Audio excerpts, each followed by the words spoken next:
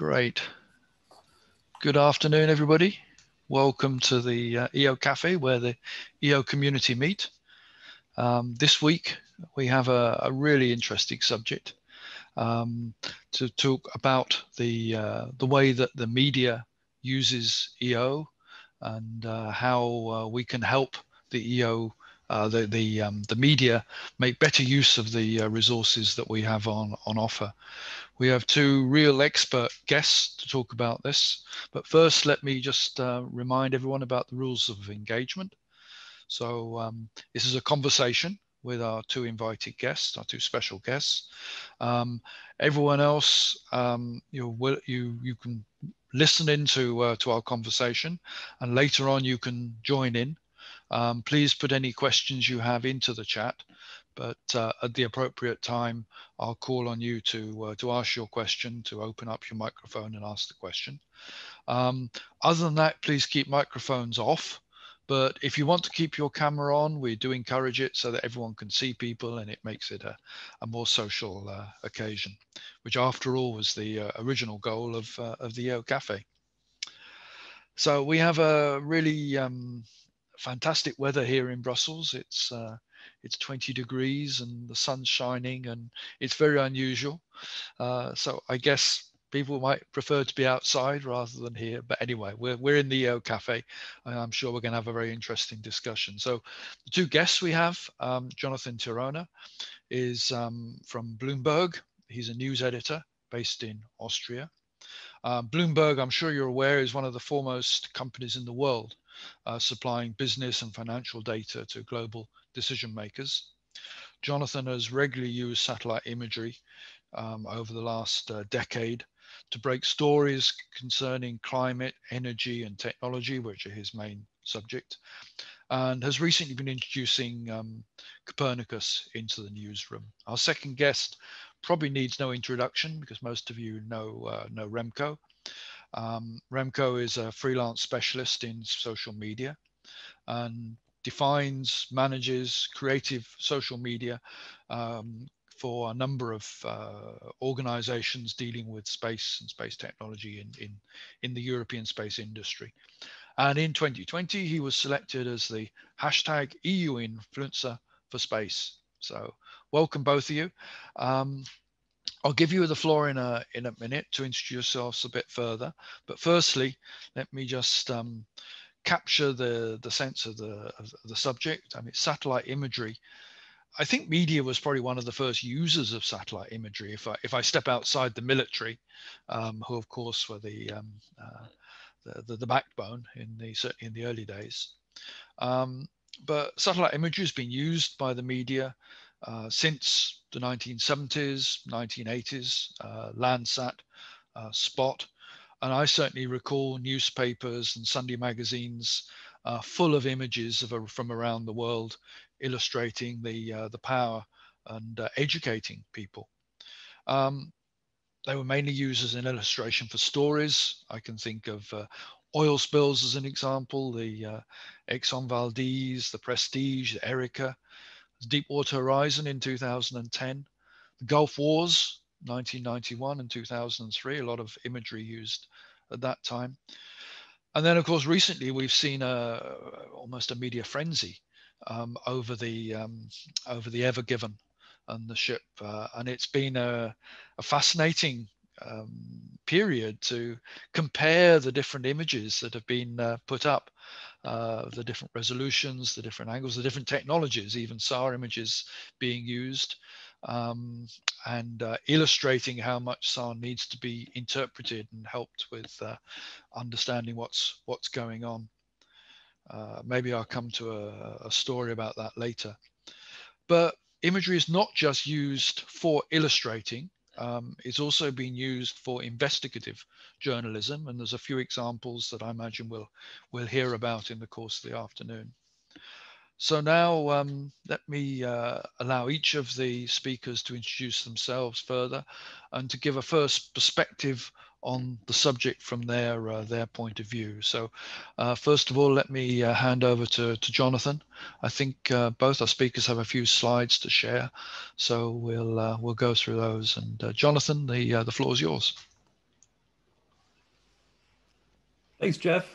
And thank you very much for the invitation to share some thoughts. I'm honestly much more interested in hearing and learning from the attendees who have much more experience than I do, I'm certain. Uh, I guess the first thing I'd say is that, um, you know, I, I, I was thinking about how to put remote sensing into perspective of my job as a journalist based here in Austria. And I kind of compare, compare it to um, learning German.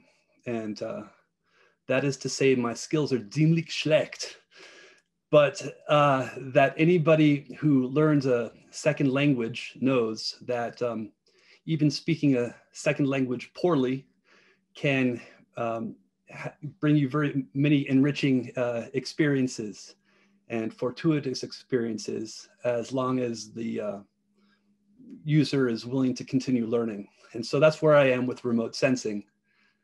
And I'll share a few slides that are prepared to give you an idea of how I've been using it over the years. Uh, if I can share the screen here, there we are, I think. So.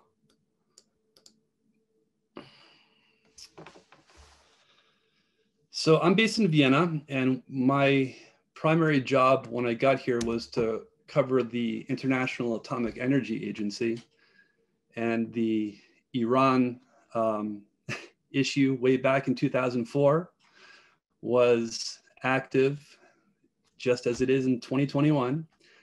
And um,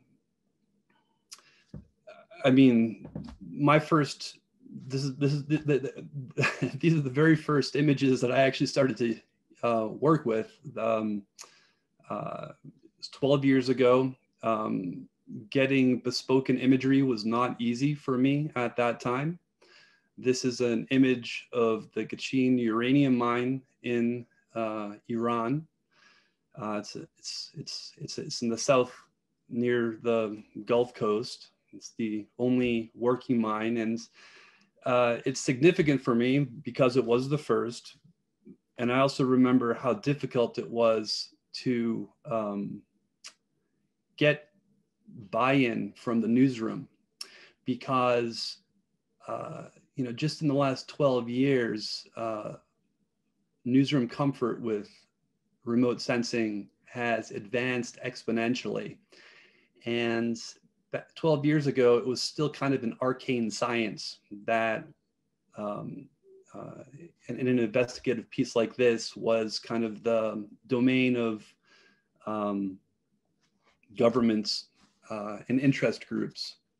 So even though um, satellite images of Iran's nuclear program had appeared in the past, they were usually led by people who had easier access to imagery.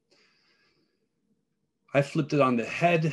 Uh, I flipped that cycle on its head here in that I first learned that Iran was expanding a uranium mine and um, then went and identified it uh, with geo coordinates and went to Digital Globe at the time and requested the imagery. And then found the experts who could help me and walk me through explaining what is going on. And you can see very clearly here uh, the tailing ponds are uh, being expanded and uh, filling up. That was important at the time because it, it explained in a very clear way why what's called the additional protocol, which allows for wider um, inspections, is so crucial in the Iran story. Moving on. Oh, let me see here. This is another story that also involves the additional protocol. This is um, from Saudi Arabia now. Uh, the neighbor in Iran. This again involves International Atomic Energy Agency um, inspections. Uh, this was interesting, uh, and I was first to report this one. This is interesting because of the triangulation exercise uh, I was able to go through. what you're seeing on the left-hand side is the containment vessel for a, it's a very tiny um, research reactor that's being built in um, Riyadh. Uh, but the issue here for a journalist um, is, and, and, and for the International Atomic Energy Agency, is that before that uh, research reactor can be uh, operated, uh, Saudi Arabia has to implement um, the um, uh, inspection agreements that allow it to import the fuel, so the enriched uranium. So what you see on the right-hand side is uh, the greenfield site and then the stages of uh, construction and you know it's a it's a poor image um, but you can actually see the cylinder installed at the bottom at the in, in the bottom panel this is something that uh, you know google earth could satisfy uh, at that stage um, i've subsequently you know continued to follow it um, and if you go to google earth uh, you'll see a um, uh, you know much higher rate of uh, imaging of this site um, uh, because it has subsequently becomes a place of interest uh, internationally. And these are some of the more recent examples of how we at Bloomberg, I at Bloomberg over the last year have been using remote sensing um, the left-hand side shows uh, the port in Germany on the Baltic, where uh, the Nord Stream 2 pipeline uh, is um, uh, putting its inventory of pipes. And in May, um, the uh, Russian pipelaying ship. It's a very special ship, uh, left the Sea of Japan, came around the Horn of Africa, and finally arrived on May 10th off the coast of Mukran. And so that um, gave me an opportunity to use satellite imagery to kind of illustrate uh, why that ship was there. Um, it's kind of boring, frankly, unless the ship gets stuck in the canal. I mean, that never happens. But um, uh, it's kind of boring just to write a story about a ship coming to, into a port and, um, you know, being able to kind of explain how and why that ship had a purpose there um, um, made the story more interesting. Same up there for the Grand Ethiopian Renaissance Dam. I broke no ground there. I don't even think I was the first one to come out with the satellite images from Planet. Um, I'm flagging this only because um, uh, I managed to get in touch with two, you know, um, uh, specialists um, in satellite imagery analysis who worked in uh, uh, with dams uh, specifically. That is often the hardest part for Bloom uh, for, for, a journalist these days. It's not necessarily to get the satellite imagery, but to get the uh, expert to give it context and have been at the industrial sites to give it meaning. And then finally, down at the bottom, we have, um, you know, you've probably seen it, Copernicus, uh, the Great Saharan Dust um, um, uh, plume that blew over and painted uh, European mountains and ski ranges uh, beautiful pink in the, it, I think it was in February. Oops, I just ended that prematurely. Uh, where did that go? Hope you can get back. Yes, there it is. Okay. Uh, uh, it's not uh, shared at the moment. Stop sharing. There we. Oh no. There we are. And can you see it now? No. No, not yet.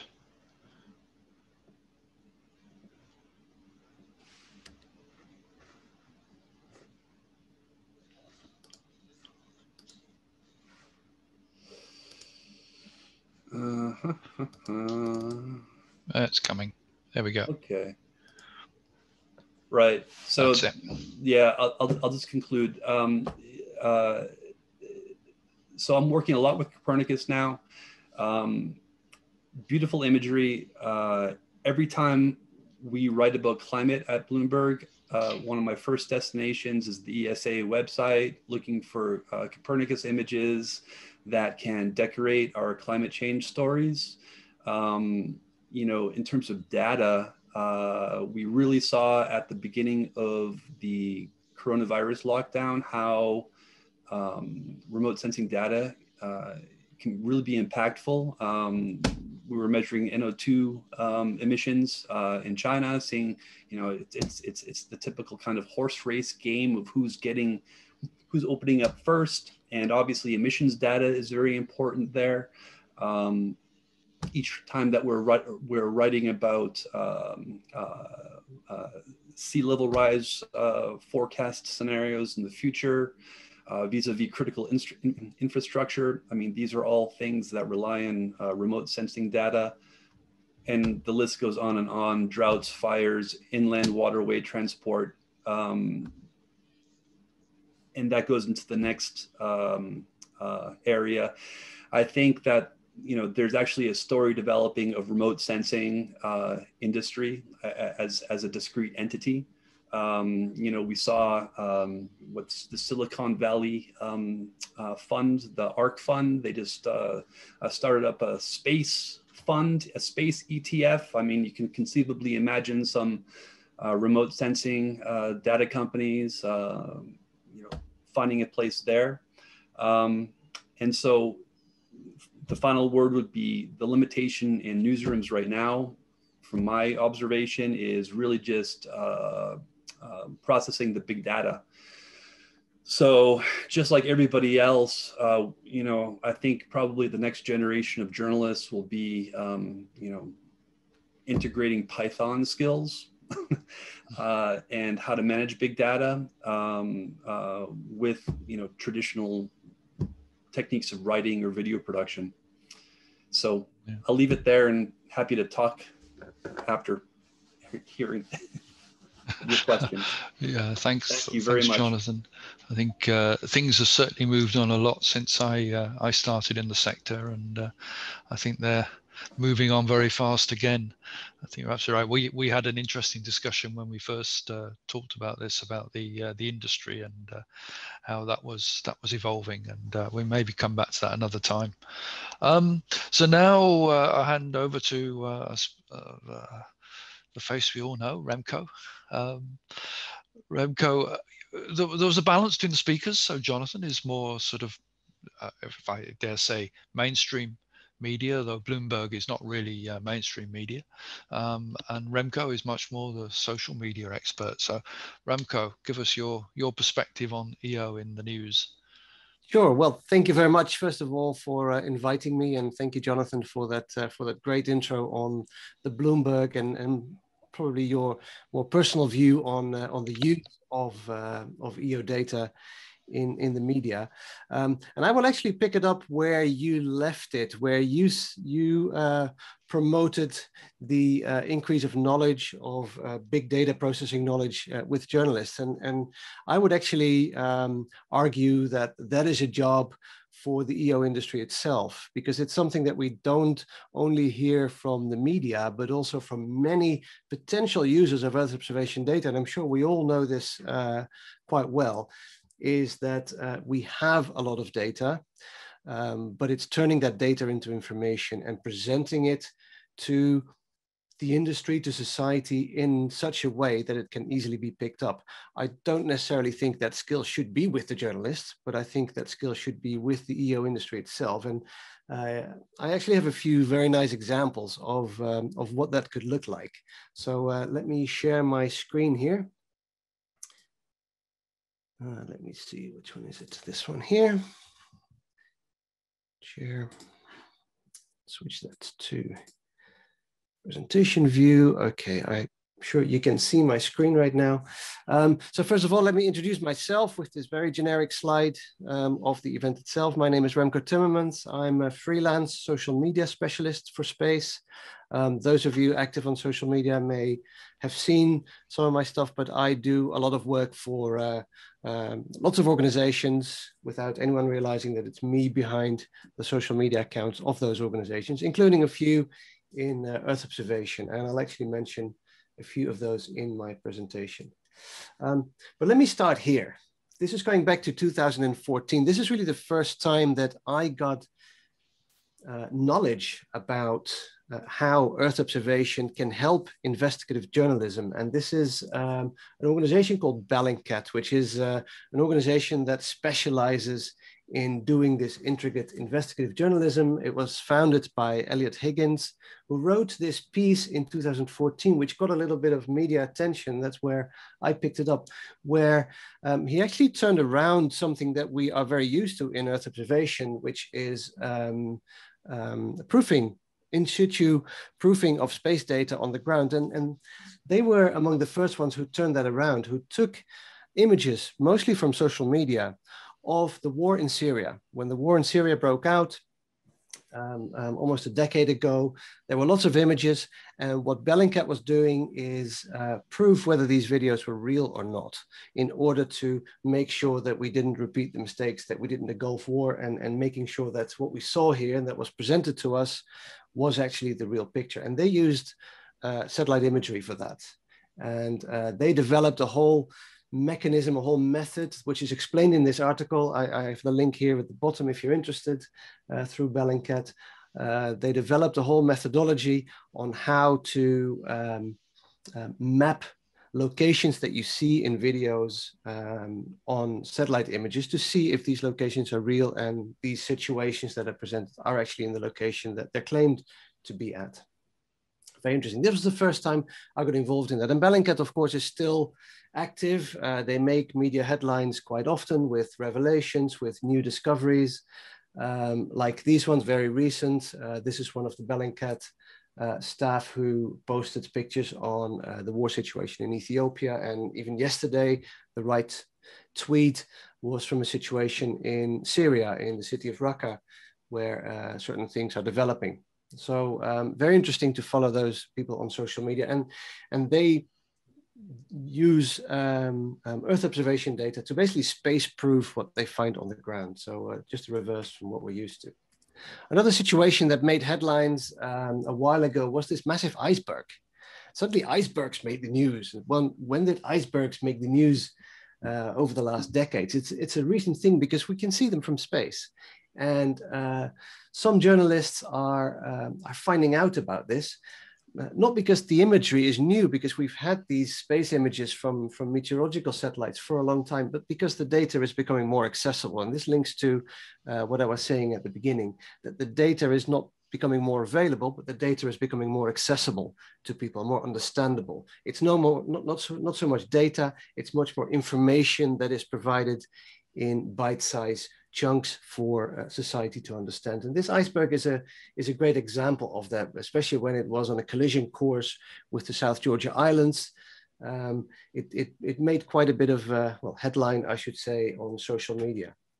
And this was picked up by, uh, by the traditional media. This is uh, um, a Dutch weatherman who is known for using Copernicus data to point out certain weather phenomena all around the world, and, and it includes icebergs. He was one of the first to bring this satellite imagery uh, into the main uh, um, weather uh, announcements on TV. And this is a picture of him pointing out the uh, Brunt ice shelf that broke loose from Antarctica.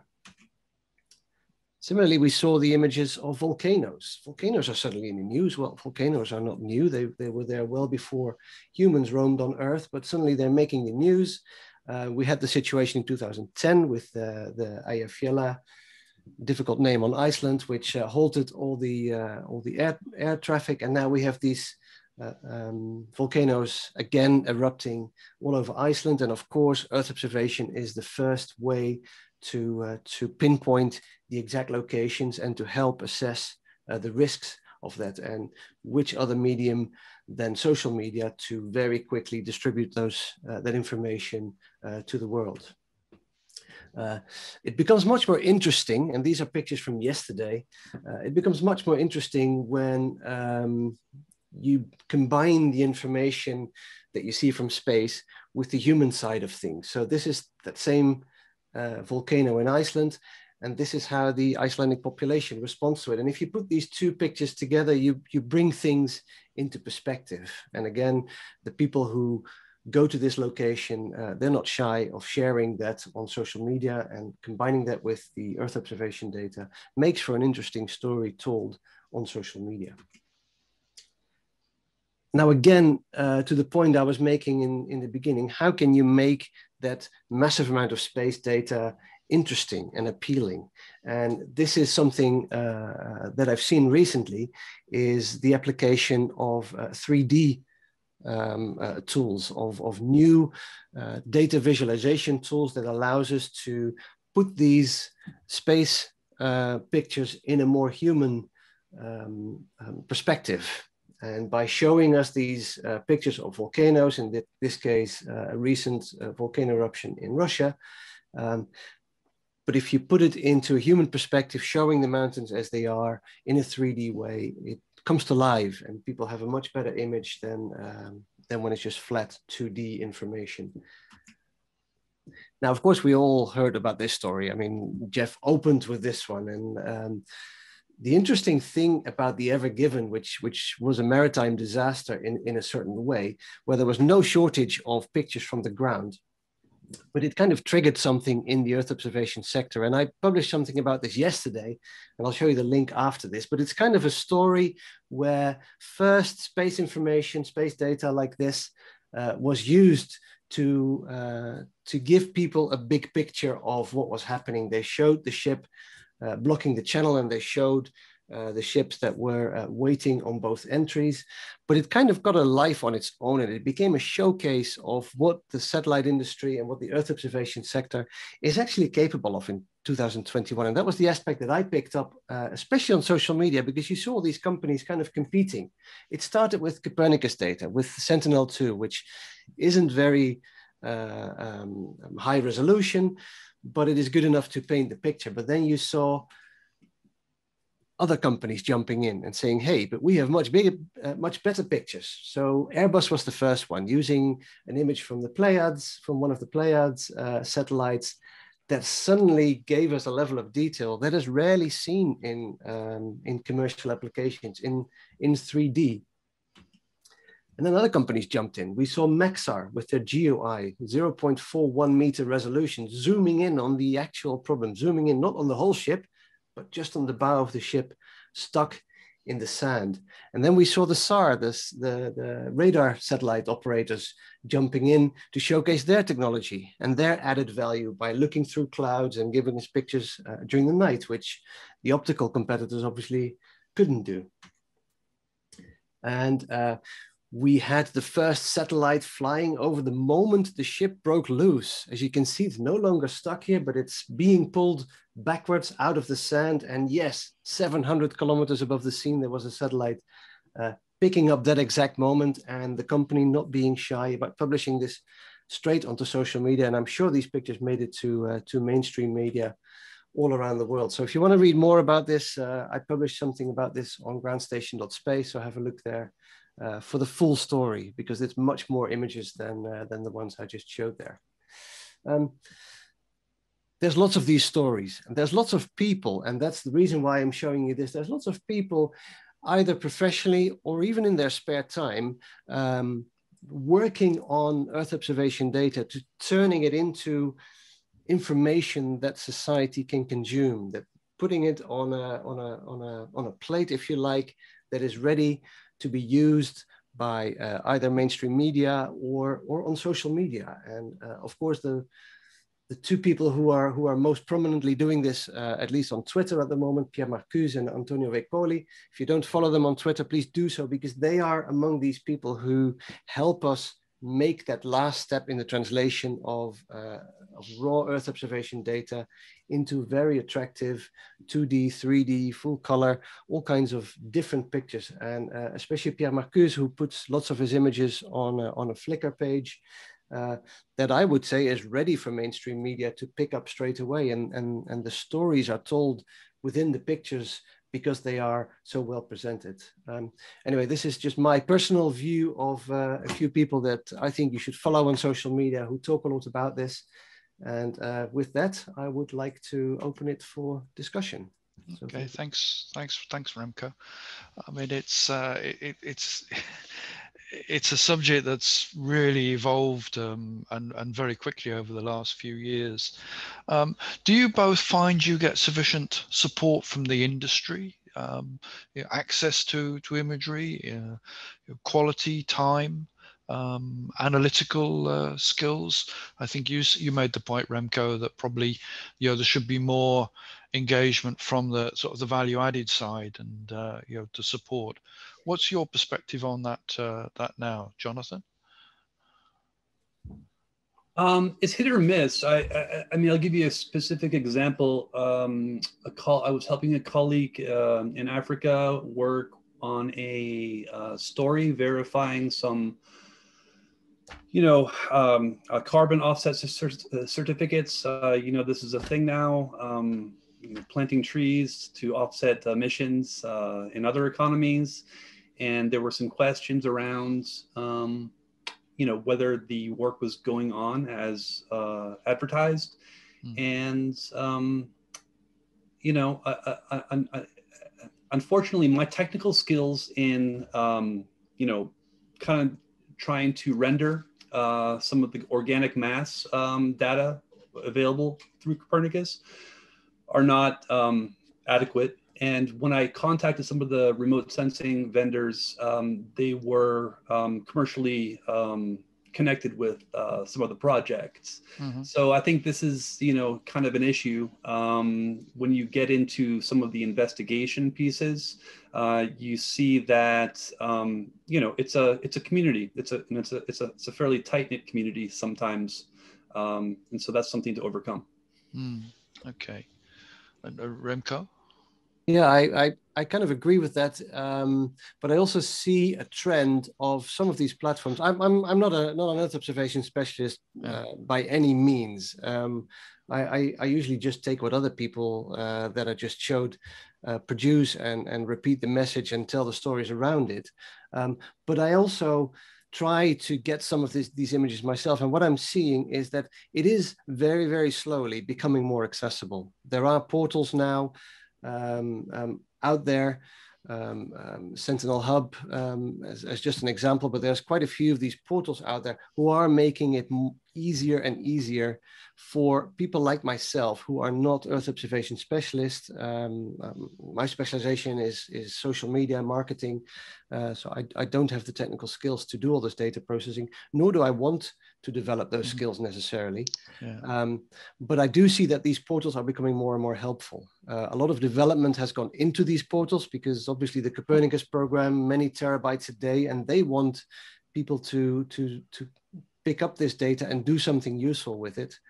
Um, but I don't think they can expect people like myself, people like Jonathan, basically anyone who can develop applications, be it for journalism or be it for other uh, industries, to do that themselves. So I do think that development should continue, and these portals should be should become easier to use, more and more self-explanatory, um, and and where where where only in very difficult, very specific situations you would need the help from these specialists. But hmm. um, I, I, I, I, do see a good development there, but we're not there yet.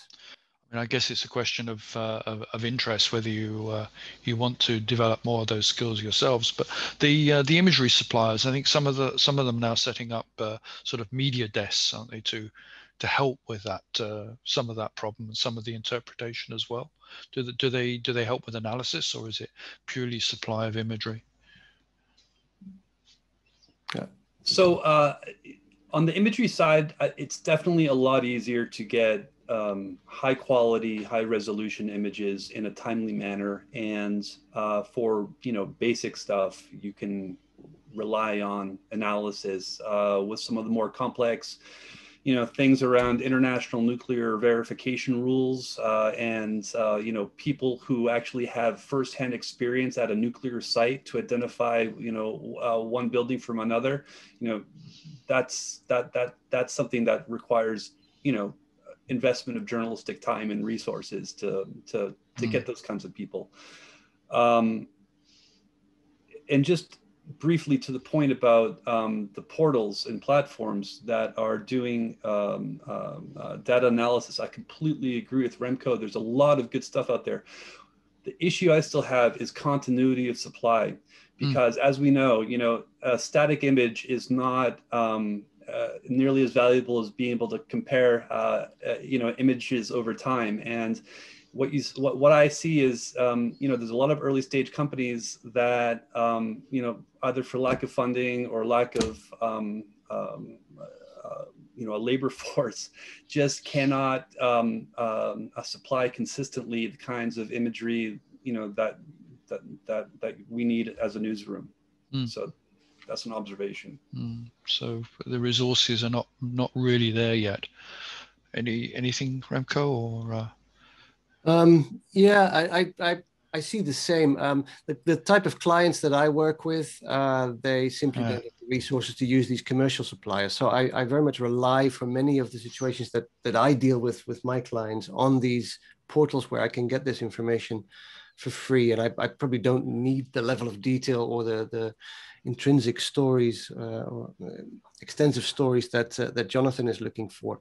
Um, so I, I, I, depend on these portals and what i do see is that the successful portals are usually that like the national ones or even the international ones yeah. and not so much the, the, ones that are developed unfortunately by by small startups who may have very innovative ideas but uh, as jonathan said not the uh, resources uh, for whatever reason to uh, to push this through and make this work on the long time. Sure, I guess the the, the sort of budget for marketing type activities is uh, is much more restrict much more restricted. How um how's COVID played out? I mean, you mentioned it, Jonathan, and looking at the uh, air quality in China and uh, um, a means to sort of try to understand how activity was uh, was was restarting. Um, ESA and the Commission set up the uh, the RACE dashboard. Um, has has that proved useful to you as in the time of COVID? Uh, I mean, you know, COVID was a gold mine for remote sensing. We were all locked in our our homes, so there was really no other way to figure out what was going on than remote sensing. so, um, uh, uh, you know, uh, editors had a, uh, you know, newsrooms had kind of, um, you know, renewed interest in what satellite imagery could uh, explain about the world, and you know, pollution was already creeping into um, you know news coverage as um, you know a metric standing in for admissions, and um, you know that just took off um, uh, with COVID as a leading indicator for return to normal, whatever that is. Yeah. Um, and and and and I'll just make the point here briefly. I mean, we're really excited, uh, especially looking at some of the uh, Green Deal and EU regulations under development about uh, carbon border tax or greenhouse gas border okay. taxes. Um, some of the new constellations looking at methane and uh, carbon dioxide. Uh, I mean, that's going to be really a game changer, I think, for mm. uh, financial journalism at least. Okay. That's just, yeah. I notice um, Jeff Smith uh, is is who was listed by Remco as being one of the uh, social influencers. So I, I better give him the floor. I think Jeff. Well, thanks thanks very much for the name check, Remco. I'm in a very illustrious company there. I feel uh, quite, feel quite almost embarrassed. It's uh, but no, that's really interesting uh, what you guys have both been saying, and the, the the two things that sort of caught my eye really were um, this in this issue about having access to domain experts.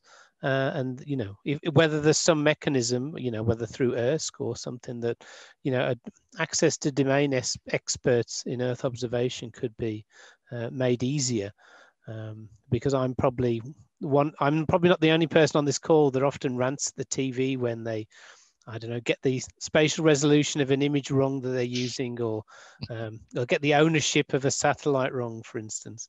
Um, but yeah, so there was that point. But then the, the second one was um, I noticed that lots of the examples are really around visualizing um, what we'd see um, you know, if we if we were on board the satellite, so using those kind of true color or at least um, you know, re relatively realistic looking imagery as part of the story. And I wondered if you ever think that things like thematic information or uh, you know, some of those information products of how things like, uh, you know, simple things like biomass or vegetation indices information, uh, whether that will play a more important role or are the majority of people still interested in seeing more of what you might call a real world or real life image? Yeah, in in in my opinion, um, it it really depends on the objective that you have, and um, much of the work that I do is in public awareness and making. Uh, showcasing really showcasing the benefits and the opportunities that earth observation has to society in general. And for that especially using the social media channels i have to put things in a human perspective. So for me uh, it is the humanizing of data that works best so for me, showing things in true color as people recognizing them, bringing it close to the world that people live in works best. Having said that, that is very different for other applications. As soon as you talk to specialists about, I don't know, agriculture, about forestry, about urban monitoring, about transport, that type of information that you're referring at, uh, which uses different spectra, uses maybe different visualizations, uh, becomes much more powerful. But for my purpose on social media, it is it is it is the humanizing the data that uh, makes it understandable for people. Mm. Okay. Well, I'll just jump in because yeah. I love to eat, and so humanizing uh, biomass indexes is right up my alley. and and uh, you know, I mean, uh, uh I, have I've I've been I've been I've been trying to get my head around um, how to use some of these new data um, platforms for a story. Unfortunately, um, you know, satellite data has kind of been uh, um, uh, stovepiped into uh, precision agriculture. Uh, and that means it's either a chemicals story or a tractor manufacturing story uh, for a lot of people. And uh, I think there's a new um, narrative, conceivably, maybe around the common agricultural policy being negotiated or some other incentive mechanism to get, you know, normal people like farmers to use remote sensing. But uh, I don't really, uh, I, I, haven't found the hook yet, but I think it's very interesting, and there's, I think there will be a space for it. uh, we can we can take that as a, a, as a separate subject. I think you know you, you mentioned precision farming, but there are, many many uh, other applications that people here would uh, would spend the whole afternoon talking about if we if we let them. Um, I'm just going to um, Steve Ramage uh, asking about open data programs and whether they're um, they're helping you in in your work, um, and also comment on uh, further on social media. Steve.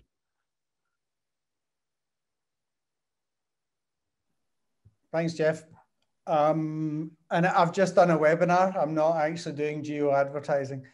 Um, yeah, so the, the, the, there's a number of private sector open data programs, which I, I always find very limited um, and in very specialized areas. So I just wondered if either of you or both of you have engaged through those open data programs and if you found them useful in any way.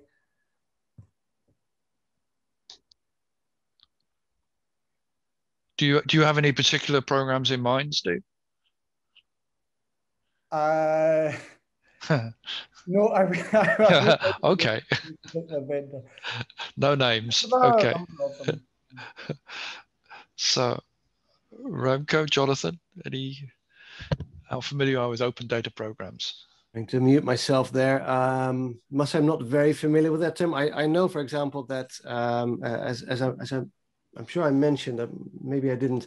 Uh, for example, Planet is very active in supporting investigative journalism, mm. and they provide imagery often for free for uh, for for um, human uh, um, disaster and for for disaster management, uh, but also this famous um, um human trafficking case that they uh, um, they kind of helped reveal. The ships meeting up, yeah Yeah, and there's there's several situations, yeah, not just Planet. There's there's other organizations that that do similar things, and those pictures, those images, uh, often do make it on social media. Um, in the sense that I have experienced myself with those stories, no, not really. Perhaps Jonathan uh, has more experience there.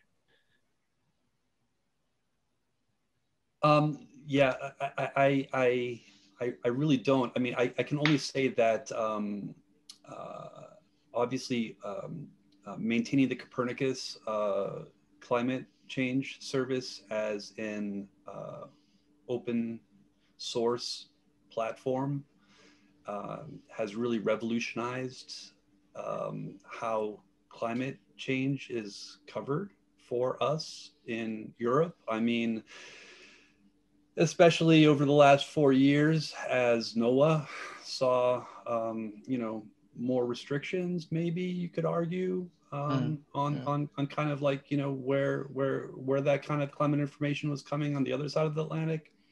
So, I mean, I think that, you know, just generally, you know, having that data open and, and, and available is very important. Mm. And obviously the free part is uh, is an advantage as well when when that is indeed the case whether it's uh, by marketing from a commercial company or um, using the free and open data of Copernicus or or Landsat. Um, so another another person that featured on your list Remco earlier but uh, was disguised by a different handle Stefan Stefan Ourevitch. Is a, a a comment to uh, to make regarding statements on platforms. Yes. Uh, Stefan. Yes, so I make that comment. As some of you may know, we operate a few social media accounts for um, the European Commission, and in particular that DEFIS underscore EU account. Uh, we do have a tailor-made service for media. So Jonathan, you can talk to us at any time. We produce on non-sensitive issues uh, imagery uh, on demand for journalists and media. Uh, if you want something that is sensitive, like like war related, etc., as DEFIS, we cannot do it as part of that contract, but we'll do it as SpaceTec Partners, the company, uh, completely outside. First point. Second point, I was very happy to see the names of a few of our frequent contributors like uh, Antonio Veccoli, Tony Vecco, or Pierre Markuse, with whom we regularly work. Uh, also, I saw Adam Platform that often provides us with uh, imagery or, or uh, data. Uh, I, would, I would dispute the fact that there's an issue with the sustainability of platforms. I mean, today, Sentinel-2 data, Sentinel-1 data, Sentinel-3 is guaranteed for quite a long time. And there are existing commercial sustainable platforms. I mentioned one with Adam platform. I think they represented somebody from the company that set it up is, is, is participating today, but there's also EO Browser from Sinergise that is so easy to use that I, with a political science degree and an MBA, can generate images with Sentinel uh, one using different polarization, etc. Well, you need a little bit of experience, but it's really easy. And I can tell you, there is a journalist at Euronews with zero technical background that you produces his own images.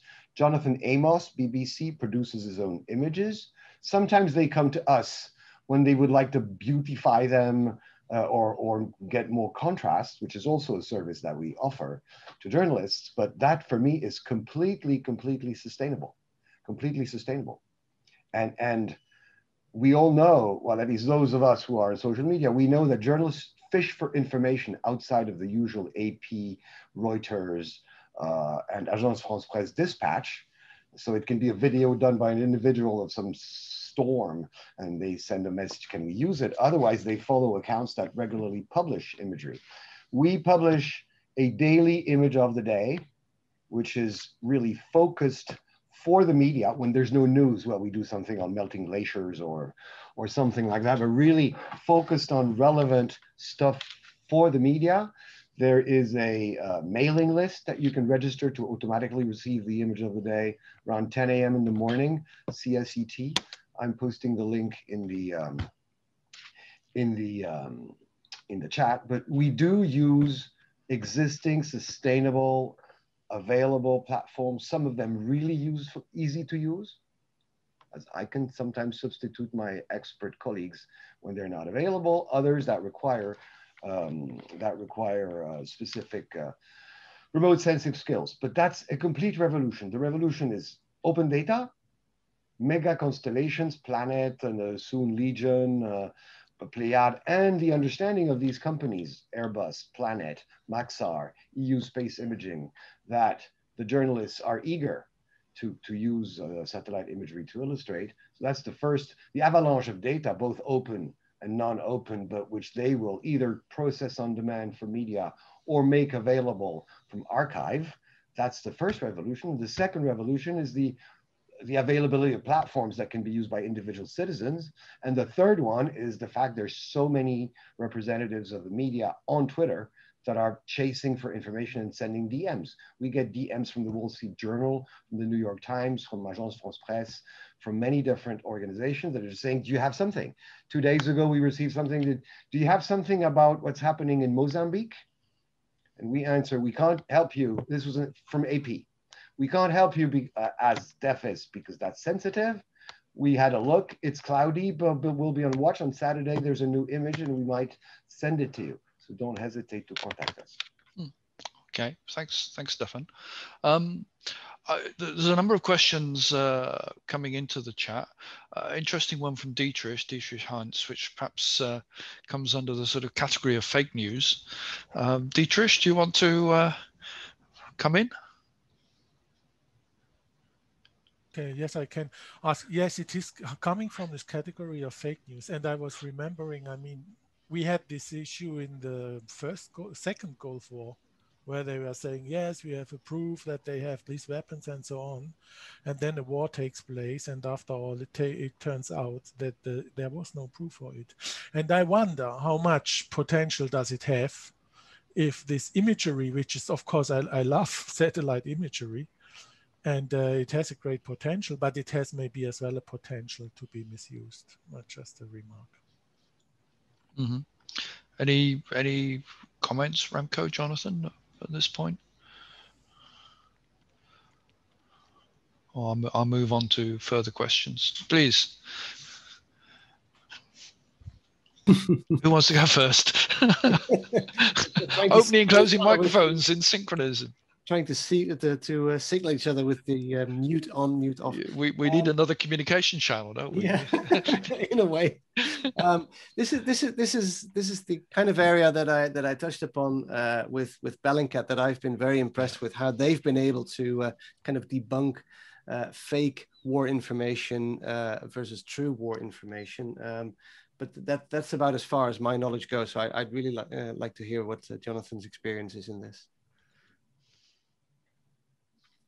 Um, well, I think it can cut both ways, and I'm not prepared to go on the record with it.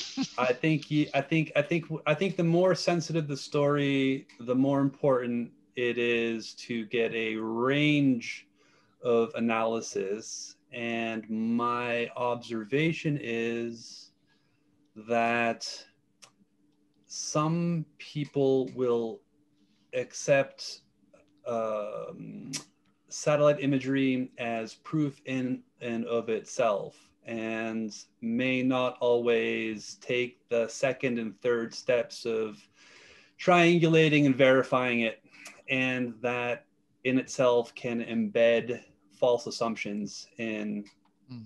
the broader public's mind mm. so it's it's tricky and that's why frankly a lot of newsrooms are very careful still, including oh. my own, with satellite imagery. yeah.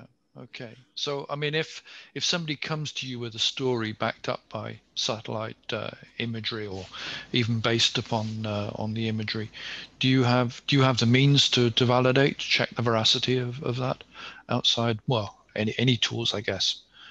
Yeah, I mean, uh, there there are people. Yeah, um, absolutely. I mean, there there there are you know well-known examples of satellite analysis that uh, you know are are are um, incomplete.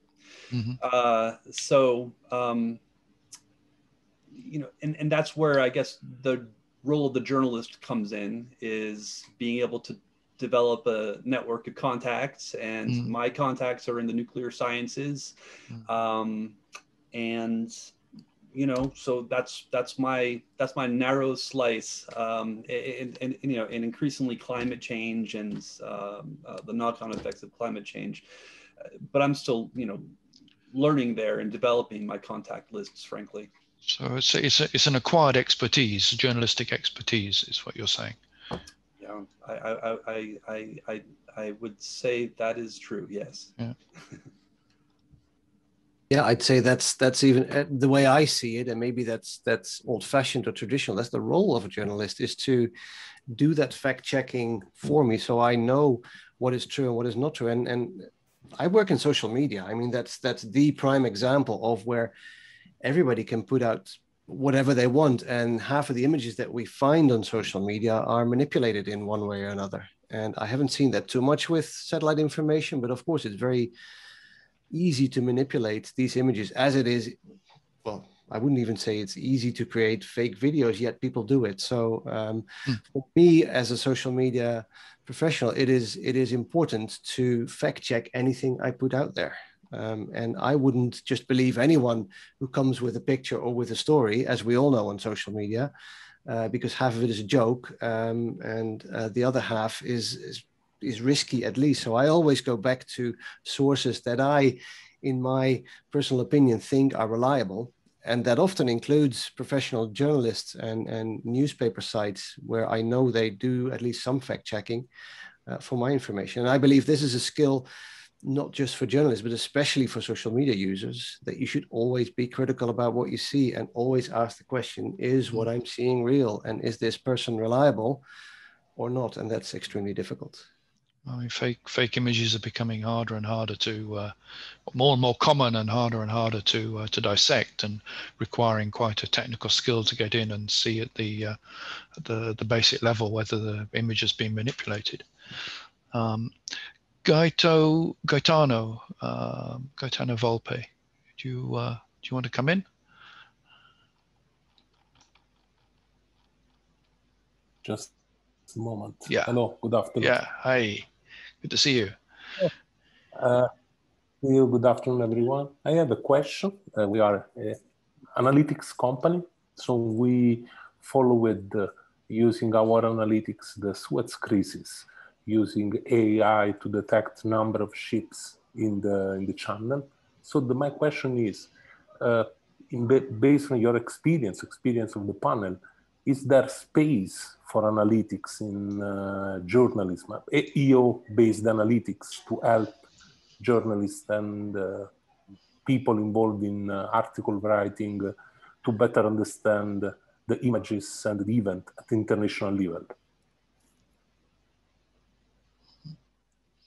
Well, I, I, I heard uh, AI, machine learning, and analytics. Yes. yes. Okay. So, uh, I mean, there's definitely a spot. We have, for example, on the Bloomberg terminal, um, uh, a vendor who supplies, um, you know, they, they, they image parking lots and they uh, use the number of cars that are in parking lots as a leading indicator for uh, retail sales in a given period of time. Uh, I think that over the last few years, um, uh, you know, electricity transmission lines, mm. uh, not only as an indicator uh, of, of, of, outages, conceivably, but uh, for penetration of electrification in developing um, countries. That's very interesting. Um, and there was another example, but I forgot. Sorry. But yes, um, um, um, um, uh, it's a very interesting field. Um, uh, I think it's probably going to be more in the category of like, uh, you know, uh, trading houses and things like this. This is this is the impression I get. Like trading houses, people who are like actually like using this information on a very you know time sensitive way to um, you know make money essentially. Um, and then we will, as journalists, uh, probably follow that Mm. okay. Okay. It's funny. I mean, that was that was a, a really popular application back in the well, certainly in the 90s. Uh, support to uh, to brokers and to trading, and I, I see evidence of it starting to get more interest. I guess probably due to the, the the much greater volume of data and information that's available, so it becomes even more relevant for their uh, for their analysis. But uh, we did um, a GeoValue case, which was um, done during COVID, where there was monitoring of the uh, um, of of the the crops and prediction of the crops, which was being used by the brokers as well as by the governments to uh, as a as a food security uh, issue. Um, I'm going to call a halt there. I'm pleased a number of people are, po are posting links into the chat. Um, I didn't mention this at the beginning, but it's certainly something we encourage and is becoming more and more uh, uh, prevalent. So an opportunity just to convey information and put um, promotional information in there or, or whatever, you, anything you wish to share. It makes it a bit harder for me for uh, finding the questions, of course, and following the questions. But uh, I think on the whole, people uh, people benefit from it. So um, I'll draw this part of the uh, EO Cafe to uh, to a close. As you know, you know we still keep the uh, the cafe open, and anyone wishing to stay around and just have a chat and become even an even more informal um, part of the meeting. Um, in two weeks' time, the next EO Cafe will be. Um, we did a EO Cafe, I think it's six weeks ago, on um, around AI for EO. Um, here we're going to be looking much more at AI for Copernicus, but digging more into the subject of AI and how it can uh, help the Earth observation sector, how it's relevant for the Earth observation, sector. Uh, similarly with the Green Deal, we've said that this is a subject that's so um, well has so many layers to it how many so many uh, so much complexity to it that we come back to it. So again at the end of uh, april we'll have uh, the eo cafe which will look again at the green deal and the role of earth observation and try and dissect a bit more what's going on with the green deal and how people can uh, um, can take opportunity for it or support uh, the the policy initiatives. So those are the next two uh, eo cafes. Um, I'm asked to uh, give a promotion on Expandeo. Um, unfortunately, last year we had to postpone for obvious reasons. Um, we, will go ahead this year. Um, it will probably be virtual. I think it's middle of June. Uh, we're planning for it to be virtual. We would love to have some physical part to it, but I suspect that won't happen. Anyway, uh, keep um, follow the uh, the progress of Expandeo, pre-register and get up to date. It will be a, a very significant meeting for the sector, um, and the goal is very much looking at uh, uh, the markets for Earth observation and engaging with organizations who are perhaps the customers of the sector that EARSC represent. So that's Expandeo. Um, another piece of publicity, Natasha, you're keeping me going here. Um, the uh, uh, FIRE a project that we have, which is very much looking at uh, uh market sectors and understanding what market sector um, how, you know, need from Earth observation, how they can benefit from Earth observation, whether it's urban monitoring, whether it's agriculture, as uh, as um, was mentioned earlier. So um, we, as part of that program, we're looking for evangelists. Uh, ideally, evangelists that know something about the sector that they're representing, but not just. So, uh, an evangelist for Earth observation. So, if you have a particular skill in communicating, in uh, convincing others, and communicating around the use of Earth observation for the benefit of different sectors, um, apply for this exciting post of evangelist by the 16th of April. And then um, it's now just a question of thanking everybody. I I'm overawed by the, the time people spend with us. Um, I'm really, really happy that EO Cafe is able to uh, uh, provide this means of the community coming together around different subjects. We're always looking for more subjects. We've got a long list, but if you uh, if you want to suggest something, we're very very happy to take suggestions and maybe work with you to uh, to build up the EO Cafe and to invite guests from different backgrounds, and sometimes it's um, it's it's it's really looking into the policy. Sometimes it's looking more into the technology. Sometimes it's looking more into the market. So, as those of you who've joined us on other occasions know, it's very much uh, it's very open in terms of the topic. So, uh, a special thanks to uh, uh to Remco and Jonathan for their insights today and for their their sharing. I feel that uh, we may we may see both of them again. Remco, of course, is a regular uh, in, in EO Cafe, and Jonathan and there was so much to talk about when we talked previously that uh, I feel sure that there's some more material that we could we could explore together. So uh, that's that's it for this afternoon. Thank you very much. I'm now off to get vaccinated, so uh, that's my my news of the day, and uh, uh join you all uh, in two weeks' time for the next EO Cafe. Thanks. Bye bye. Bye bye.